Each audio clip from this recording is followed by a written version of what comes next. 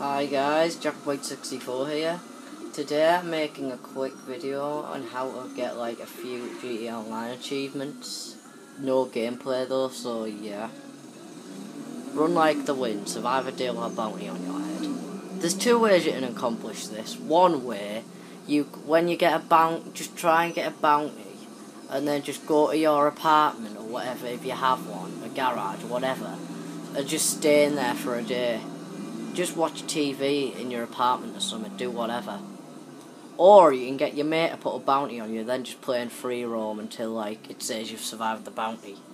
Whatever. Um, let me think of something else. Pew stick up cage, just rob all the stores with no ticks on, because your store should have ticks on that you've robbed already.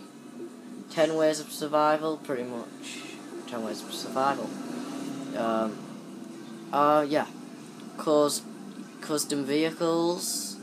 Well, what how you can do this is just do a bunch of races and use your custom vehicles for them.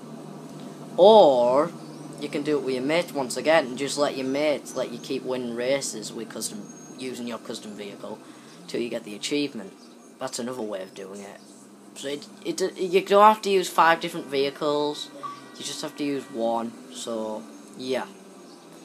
The level 25 and 51 are pretty much just leveling up. So, yeah. That's all I've got for you. jackboyd64, see you in the next vid.